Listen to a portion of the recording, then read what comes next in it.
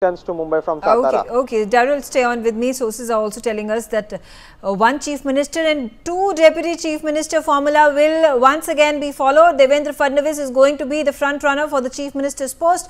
Sources indicate that Eknath Shinde and Ajit Pawar are likely to be deputy chief minister. Sources also reveal that uh, Eknath Shinde is uh, uh, going to clarify on this matter late in the evening. Sanjay Sharma on the telecast. Sanjay, give us details. Just a few days ago, there was also, uh, you know, some hint that had come forth from Eknath Shinde that he was not interested in the post of the deputy chief minister. देखिए एक नाथ शिंदे को कल रात को ही केंद्रीय गृह मंत्री अमित शाह के घर पर जब बैठक हुई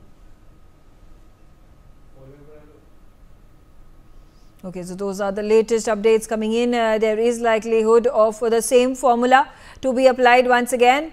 It is going to be the chief minister and two deputy chief minister. Earlier, it was Eknath Shinde who was the chief minister and the deputy chief minister's post was held by Ajit Pawar and of course Devendra Fadnavis of the BJP. Now, uh, things have uh, turned around. Likelihood of uh, the chief minister's post being uh, given to Devendra Fadnavis and is there then going to be a likelihood that Eknath Shinde and Ajit Pawar are going to be the deputy chief ministers? Sanjay, if you could shed more light.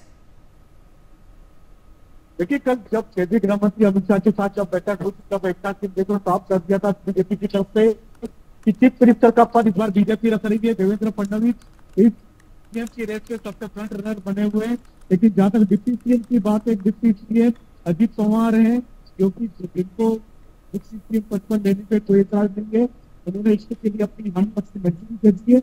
लेकिन एक deputy CM का एक नाथ शिंदे को मिल रहा है।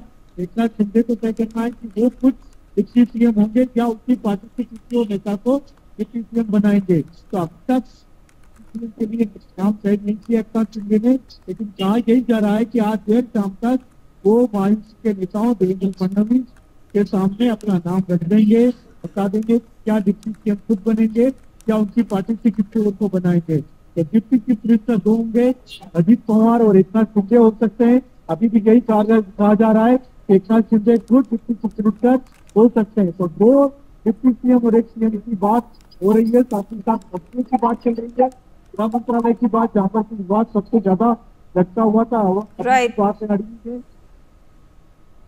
गृह मंत्री उनको मिलना चाहिए क्योंकि पिछली बार जब मिनिस्टर एकनाथ शिंदे थे तो गृह मंत्रालय उन्होंने देवेंद्र फडणवीस को दिया था Okay, Sanjay, stay on with me. I also have more updates uh, with regards